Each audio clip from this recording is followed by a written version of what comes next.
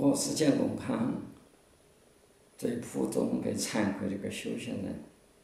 现在是二零幺六年了，大家早已知道，那么第三十多节强佛是真正的佛陀。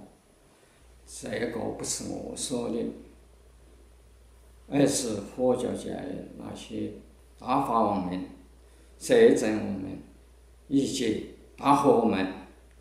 根据佛教的认证制度认证出来的，所以，那么第三十多级千佛是法定合法的佛陀，但是在二零零三年，也就是十三年前嘛，那个时候我跟大家一样，只知道我的恩师最厉害，总持一切佛法。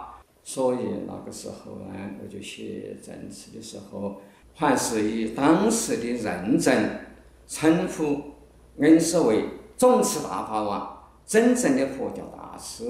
那个时候我在泰国，也见不到佛陀，不能亲自把真实的情况跟佛陀说，我非常的难过，眼看着我的恩师被陷害。